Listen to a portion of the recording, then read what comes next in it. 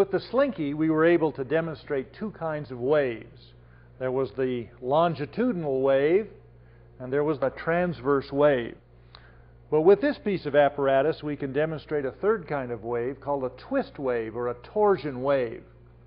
Down the backbone of the apparatus is a stiff piece of wire running from one end all the way to the other. Welded to the piece of wire are these uh, rods, these metal rods out to the side. Now, when you twist the wire, when you twist the wire, say, uh, let's uh, pull one of those rods down like that to twist the wire, and you release, uh, release the rod, the wire wants to untwist. And in untwisting, it overshoots and then wants to come back again. And that creates the mechanism to propagate this disturbance along the uh, wire from one end of the apparatus to the other. However, if you just look, if you just look at the ends of the rods out here, you'll see that the ends of the rods, when the disturbance propagates, move up and down like this as the disturbance moves that way.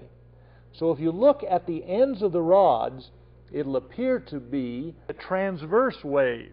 So this device is a device that takes a torsion wave, the wave moving down the stiff piece of wire, and then displays it to you as if it were a transverse wave.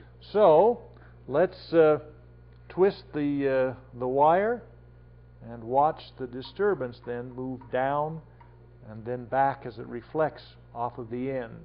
That's a torsion wave. It's a twist wave a twisting of the wire, but to look at the ends, it appears to be a shear wave.